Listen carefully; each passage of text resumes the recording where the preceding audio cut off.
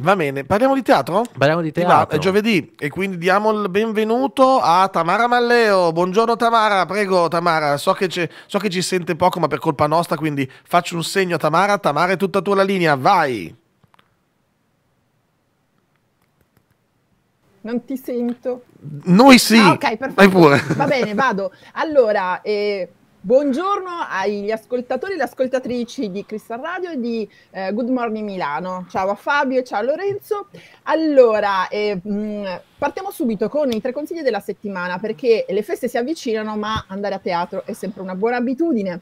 Allora, partiamo subito col Teatro Fontana che in questi giorni ospita Giuseppe Scoditti. Giuseppe Scoditti è un attore che molti conoscono perché fa parte del gruppo ehm, che in questi eh, contenuti zero, che è, in, eh, che, che è stato uno dei protagonisti del Bar Stella su Rai 2 con eh, Stefano De Martino e Contenuti Zero, una compagnia che da tanti anni lavora in teatro e che adesso ha una platea più ampia che quella della televisione.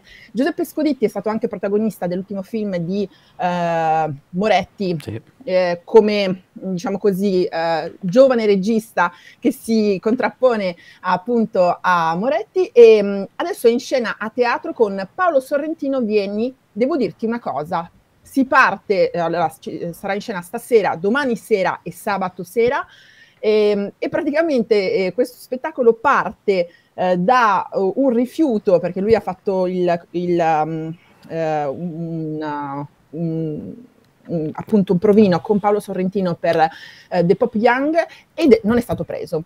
Ed è uno dei grandi no, diciamo così, che gli attori devono ricevere. Quei no che servono. Ricevono e lui da, da quel no parte per un racconto di come eh, e perché si insegue un grande sogno, eh, cosa ci spinge a inseguirlo anche se riceviamo dei no e che cosa succede quando riceviamo dei no. Quindi e sem- chiaramente questo racconto è un racconto molto ironico, come eh, Giuseppe Scoditti fa nei suoi spettacoli, e peraltro in questo spettacolo è affiancato sia nella scrittura che nella regia da Gabriele Gerez Albanese. Eh, lo trovate al Teatro Fontana, Teatro Fontana che si trova in zona Isola, eh, quindi metropolitana gialla Zara. E, e quindi mh, Teatro Fontana, Giuseppe Scoditti, eh, Paolo Sorrentino vieni, volevo dirti una cosa, potete trovarlo lì fino a sabato. Poi eh, ci spostiamo invece al eh, piccolo teatro, anzi al Teatro Grassi, con uno Teatro spettacolo... Grassi. Sì, Teatro Grassi, quindi siamo in centro a Milano, fermata Cordusio, fermata metropolitana rossa, eh, con una compagnia che ha conquistato il mio cuore, eh, che è la Casa d'Argilla, è una compagnia eh, la- le cui anime sono eh, Lisa Ferlazzo Natoli e Alessandro Ferroni, con tutta una serie di attori e attrici che ormai lavorano quasi, mh, diciamo così, sempre con loro, quindi con una compagnia fissa, e, mh, e fanno dei lavori molto interessanti su temi difficilissimi. Sono stati sempre al piccolo teatro con Anatomia di un suicidio e adesso tornano con il Ministero della Solitudine, che peraltro, il Ministero della Solitudine, in realtà è esistito davvero perché in Mm. Inghilterra c'è stato un Ministero della Solitudine che ha avuto vita breve, ma che in realtà eh, è stato fondato proprio per cercare di mh, creare un supporto per tutta una serie di mh, diciamo così, esigenze legate alla solitudine che però non vengono, cioè è difficilissimo, come si fa a definire che cos'è la solitudine? Eh, sì. Come si fa a, a dare dei parametri per capire chi può rivolgersi al Ministero della Solitudine e chi no? Chi no? E, e E infatti quindi- ha avuto vita breve il Ministero della esatto, è Solitudine. vita cioè. breve, ma lo spettacolo è, È rimasto solo.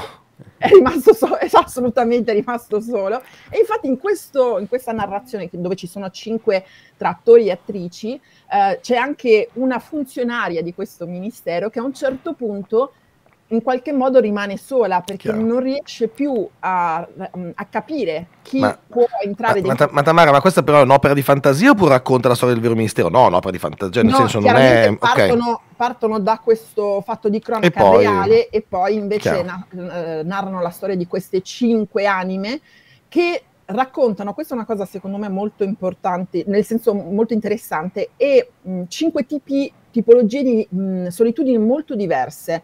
Nel senso che la solitudine non è una cosa soltanto, eh, è, è, fatta veramente di dettagli, è fatta di persone che in realtà nella vita normale, no? in quella in cui si relazionano con gli altri, possono non essere definiti soli, ma che in realtà poi ritrovandosi con se stessi hanno profonda, un profondo senso di solitudine. E questa solitudine, secondo me, in qualche modo ci riporta alla nostra di solitudine, perché in realtà tutti noi cerchiamo affannosamente di eh, crearci no? una realtà densa di impegni, di relazioni, di situazioni, però poi dobbiamo fare i conti con la solitudine. Chiaramente una solitudine sempre molto personale, una solitudine sempre molto mm, poco definibile.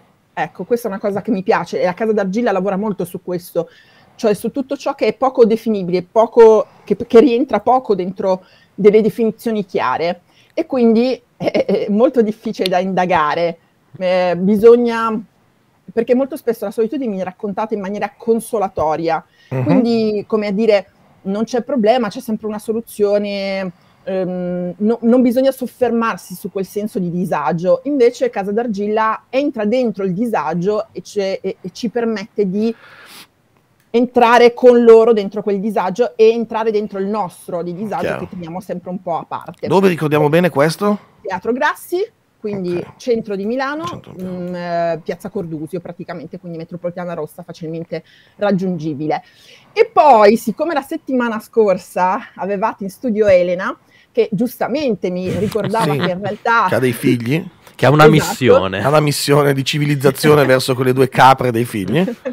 No, ah, no mi scusa. ricordava che mh, mm, i, i, ragazzi e le ragazze sono sempre, insomma, il teatro lo vedono sempre come qualcosa di uh, imposto, uh-huh. però se si inizia presto ad andare a teatro probabilmente potrebbe diventare un'abitudine e quindi mi sono detta perché non parlare di un teatro che ha una programmazione specifica per ragazzi e ragazze dai praticamente dai zero anni, quindi dai, mm, proprio dai primi mesi, uh-huh. fino ai 16-17. Okay. Stiamo parlando del teatro del Buratto. Ah. Il teatro del Buratto ha una tradizione, insomma, che mh, mm, arriva da lontanissimo. Adesso hanno fatto una sede nuova, diciamo così, eh, che è eh, la sede del Teatro Munari. Uh-huh. E quindi ci sono due sedi, una in via Pastrengo, e che è quella tradizione, diciamo così, quella ormai tradizionale, e quella nuova del Teatro Munari. Eh, in questo caso proprio vi racconto uno spettacolo, La Conta di Natale,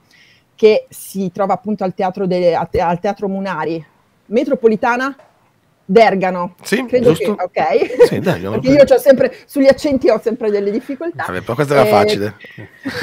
questa ehm, no, Dergano, Dergano. anche questo eh, facilmente raggiungibile con la metropolitana. La conta di Natale dai tre anni in su, okay. quindi ha un linguaggio legato soprattutto al teatro di figura, quindi ha un linguaggio eh, più adatto a bambini e bambine un po' più piccole, perché cerca anche di coinvolgerli molto, quindi un, eh, è praticamente un calendario dell'avvento in cui okay. i bambini e le bambine sono coinvolte attraverso filastrocche, attraverso canzoni, attraverso una partecipazione diretta, perché appunto i, gli spettatori e le spettatrici più giovani se coinvolte sicuramente okay. partecipano più alla storia e quindi okay. si sentono più dirette. E quindi il Teatro del Buratto comunque vi consiglio, ha una programmazione legata soprattutto a un pubblico giovane, diciamo così, molto giovane. Diciamo ok, così. Baseri tu no. No, no, Masini, non, beh, sei, beh, però, non sei abbastanza giovane. Abbastanza, eh, beh, no, no, neanche, neanche, all'età di 12 anni era giovane Masini. No, no, infatti, infatti, io sono rimasto al primo consiglio ecco, di Giuseppe Scoditti perché è stato citato Nanni Moretti. Io non manco a dirlo, sono grande fan di Nanni Moretti. Ma che chiara, chiaramente.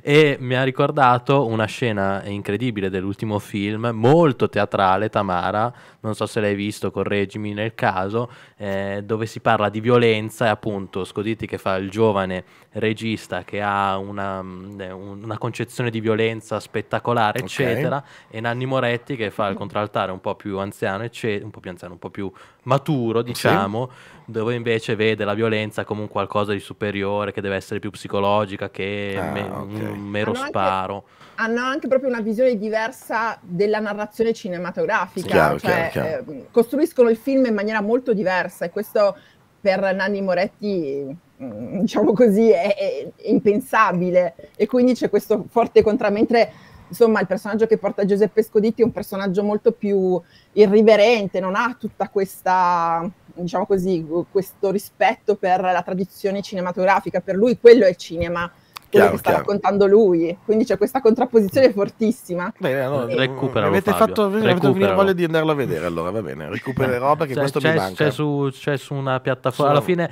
pur, pur, essendo contro le piattaforme, eh, fine sostanzialmente quel, si trova su Sky. Ah, cioè, comunque, si trova su Sky. Vedi, alla fine anche Però io l'ho visto al cinema. Sì, anche, io l'ho visto al cinema. Eh. Va bene, meno male che ci siete voi due. Eh beh, Nanni Moretti. No, infatti, infatti, no, nel senso io... Ah, beh, ricordiamo il titolo, Il Sol dell'Avvenire.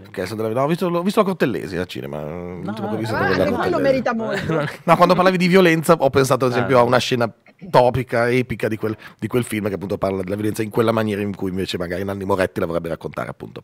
Eh, Tami, tre consigli, uno migliore dell'altro, diciamo Speriamo. che insomma siamo sempre, siamo sempre ben consigliati dalla buona Tamara Malleo. Allora, noi eh, vi, vi, consiglio anche un'altra cosa. Sì, vai, vai. Che se state pensando ai regali di Natale, regalare uno spettacolo teatrale significa anche condividere ah. una serata insieme, eh, significa anche, mh, mm, per chi non è appassionato, magari scoprire il teatro, eh, però secondo me regalare un'esperienza, mh, mm, secondo me è sempre un bellissimo regalo per, per, dare un consiglio. Ecco, ecco, ecco, bene, bene, bene. E allora Tamara, grazie mille del consiglio e dei consigli, anzi in questo caso.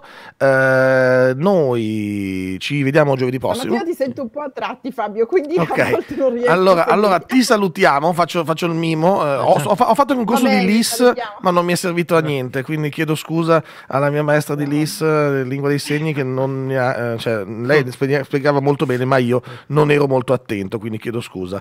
Però, bigiavi, bigiavi. No, no, sì, l'ho preso da altro. Quindi chiedo scusa. Tamara, grazie mille. Ci grazie. vediamo giovedì prossimo allora, va bene?